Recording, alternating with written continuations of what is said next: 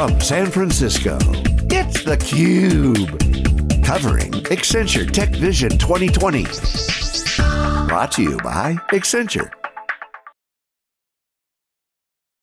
Hey, welcome back everybody. Jeff Frick here with theCUBE. We're at the Accenture San Francisco Innovation Hub on the 33rd floor of the Salesforce Tower in downtown San Francisco. It's 2020, the year we know everything with the benefit of hindsight. What better way to kick off the year than to have the Accenture Tech Vision uh, reveal, which is happening later tonight. So we're really happy to have one of the authors who's really driving the whole thing. He's Michael Biltz, the Managing Director of the Accenture Tech Vision 2020, a very special edition. Michael, great to see you. Hey, thanks for having me. Absolutely. So you've been doing this for a while. I think we heard earlier this thing's been going on for 20 years. It is. Um, you've been involved for at least the last eight. I so think a little bit more than more that. than that. Yeah. So what's the uh, what's kind of the big theme before we get into some of the individual yeah, items? So, so I mean, I think right now what we're really talking about is that our real big theme is this: we the digital people. You know, and it's that recognition that says that we've fundamentally changed. I mean, you know, when you start looking at yourself and your lives, is that you've gotten to a point where you're letting your cell phone track you. You know, your car knows where you are probably better than your spouse does. You know, you're handing your key to all, you know, to Amazon and Walmart so they can deliver packages to your house. And more than that is that actually we're trying to start to, you know, revolve our lives around this technology. You know, I look at my own life, you know, and we just sold our second car, you know, specifically because we know that Uber and Lyft exist to fill that void. Right. Well, you don't have to look much further than than phone numbers. How many people remember anybody's phone number anymore, right? Because you don't really have to. And it, I think it's the 15th anniversary of Google Maps yep. uh, this year. And, and to think of a world without Google Maps without that kind of instant access to knowledge is, is really hard to even fathom. But as you said, we're making trade-offs when we use all these services. And, yep. and now some of the, the costs of those things are being maybe more exposed, um, maybe more acute or in your face. I don't know. Yeah. What would you say? I mean, I think what's happening now is, is that what we're realizing is that it's changed our relationship with companies is that suddenly we've actually brought them into our lives. And on one hand they're offering and have the ability to offer services that you could never really do before you know but on the other hand is that if i'm going to let somebody in my life suddenly they don't have to provide just provide me value in this is useful is that they actually are people are expecting them to retain their values too you know, so how you know they protect your data, what they're good for the community, for the environment, you know, for society, you know, whether it's sustainable or not, is that suddenly, whereas people used to only care about what the product you're getting, you know, now how it's built and how your company is being run is starting, like it's just starting, right. you know, to become important too. Right. Well, it's funny because you used to talk about, you know, kind of triple bottom line, you know, shareholders, customers, and, and your employees, and you talked about really kind of this fourth line, which is yeah. the community and really being involved in the community. People care. Suddenly you go to conferences where we spend a lot of time and you know all the utensils are now yeah. uh, compostable and the forks are compostable and you know a lot of the individual packaging stuff is going yeah. away. So people do care. They do, and, and there's a fourth and a fifth that says the your community cares, you know, but it's also your partners do too. Is that you can't you know, I'm going to say downgrade, you know, the idea that your B2B folks care is that suddenly we're finding ourselves tied to these other companies and not just in a supply chain, you know, but from everything. And so you're not in this alone in terms of how you're delivering these things, but now it's becoming a matter that says the, well, man, you know, if my partners are going to get pummeled because they're not doing the right thing or they don't have that broad scope, is the that's going to reflect on me too. And so now you're suddenly in this interesting position where all of the things that we suspected were going to happen around digital connecting everybody is just starting to, and I think that's going to have a lot of positive effects. Yeah. So one of the things you talked about earlier today, in, an earlier presentation, was was kind of the shift from kind of buyer and seller, seller and consumer to provider and collaborator, really yep. kind of reflecting a very different kind of a relationship between the parties as opposed to kind of this one one shot transactional uh, relationship. No, and, and, that's right. And it doesn't matter who you're talking about. Is is that you know if you're hiring folks, you know, for skills that you're assuming that they're going to learn, you know, that's going to be different in three years and five years, you're essentially partnering with them in order to take all of you on a journey. You know, when you start talking about you know governments, is that you're now partnering with regulators. You know, you look at companies like Tesla, you know, who are working on you know regulations for electric cars. They're working on you know regulations around you know battery technology, and you see that this go it alone approach isn't what you're doing. You know, rather it's becoming much more holistic. Right. So we're in the innovation hub, and I think number five of the five is really about innovation DNA, and you guys are driving innovation. And you know, uh, rest in peace, Clayton Christensen passed away. Innovator's Dilemma, yep. my all-time favorite book, but.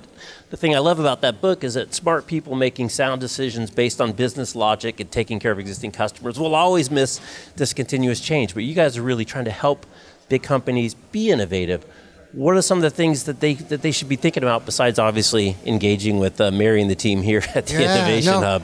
And that's the really interesting thing is is that you know when we talked about innovation, you know, five or even ten years ago, you were talking about just how do I find a new product or a new service to bring to market, and now that's the minimum stakes. Like that's what everybody's doing. And I think what we're realizing as we're seeing tech become such a big part is that we all see how it's affecting the world. And a lot of times that things are good is that there's no reason why you know you wouldn't look at somebody like a Lyft or Uber and say that it's had a lot of positive effects. But from the same standpoint is that you know you ask questions of is it good for public transit? Is it good for city infrastructure? And those are hard questions to ask. And I think where we're really pushing now is that question that says we've got an entire generation of not tech companies, but every company that's about to get into this innovation game. And what we want them to do is to look at this not the way that the tech folks did, that says here's one service or one technology, but rather look at it holistically that says how am I actually going to implement this and what is the real effects that it's going to have on all of these different aspects. Right. Law of unintended consequences is always, always a good is. one. I remember hearing years ago this concept of, of curb management. I'm like, curb management, who ever thought of that? Well, drive up and down uh, in Manhattan when they're delivering groceries, they're delivering yep. Amazon packages and, and FedEx packages and, and Uber Eats and, and no, right. delivery dog food. Now, where's that stuff being staged? You know, now the warehouse is kind of shifted yep. out into the public space. So you never kind of really know where these things are, are going to end up. No, and, and I'm not saying that we're going to be able to predict all of it. I think rather it's that starting point that says that, you know, we're starting to see a big push you know, that says that these things need to be factored in and considered.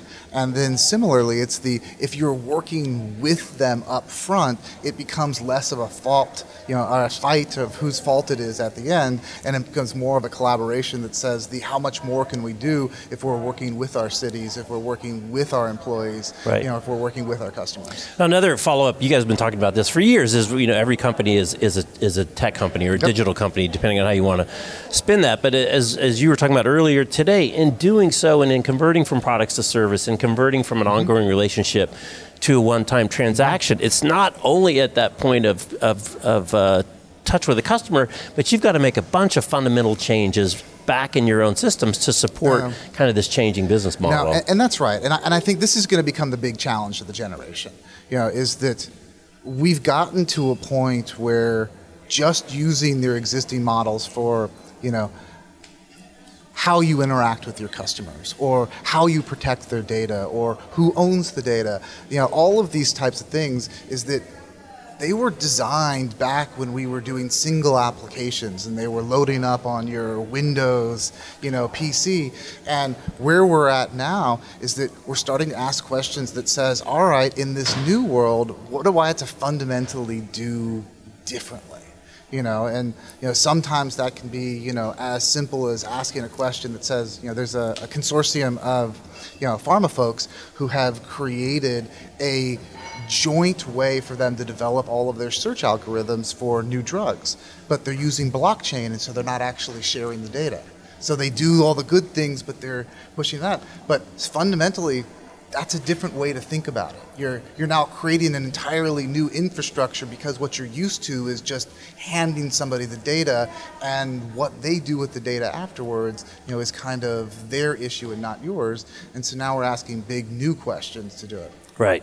Another big thing that keeps coming up over and over is trust. And, and again, we talked a little earlier, but I, I find this really ironic um, situation where people don't necessarily trust the companies in terms of the people running the companies and what they're going to do with their data, but they fundamentally trust the technology coming out of the gate and this expectation of, of course it works, everything works on my, on my mobile phone. But the two are, Yeah. you know, related but not equal. No, I mean they're not. I mean, it, and, and it's really pushing this idea that says the we've been looking at all of these. I'm going to say scary headlines, you know, of people not trusting companies for the last number of years, while at the same time the adoption for the technology has been huge. So there's this dichotomy, you know, that's going on in people. Where at one point is the they like the tech. You know, I think the last stat I saw, you know, is that everybody spends, you know, up to six and a half hours a day involved, you know, on the internet, you know, in their technology.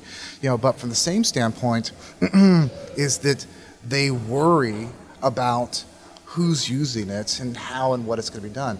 And I think where we're at is that interesting piece that says the we're not worried about a tech lash. We don't think that people are going to stop using te- you know, technology.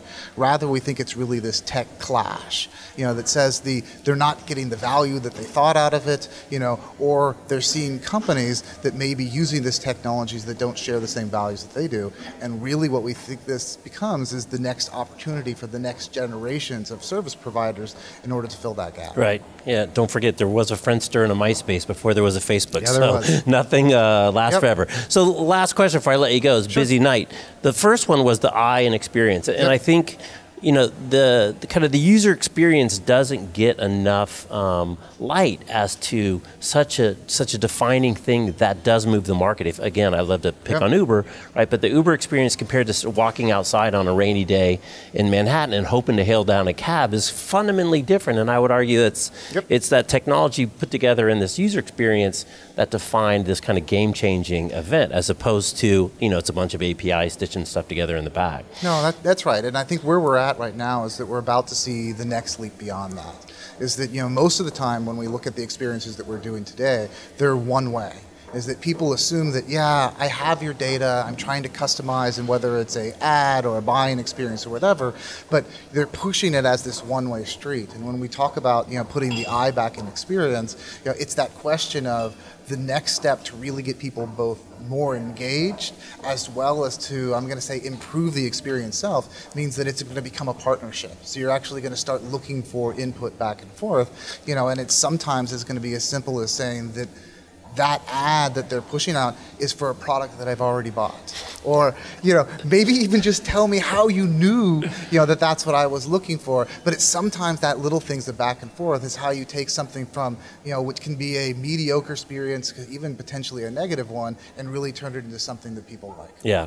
Well, Michael, I'll let you go. I know you got a busy night. We're going to present this, and uh, really thanks to you and the team, and, congratulations for coming up with something that's a little bit more provocative than cloud's going to be big, or mobile's going to be big, or edge is going to be big. So this is great material, and uh, and thanks for having us back. Look forward to tonight. No, happy to, happy to do it, and you know, you know, next year we'll probably do it again. I don't know. We already know everything. It's 2020. What else is unknown? Ah, every- everything's going to change. All right. Thanks again. He's Michael. I'm Jeff. You're watching theCUBE. We're at the San Francisco Innovation Hub at Accenture's uh, headquarters on the 33rd floor, high above San Francisco. Thanks for watching. We'll see you next time.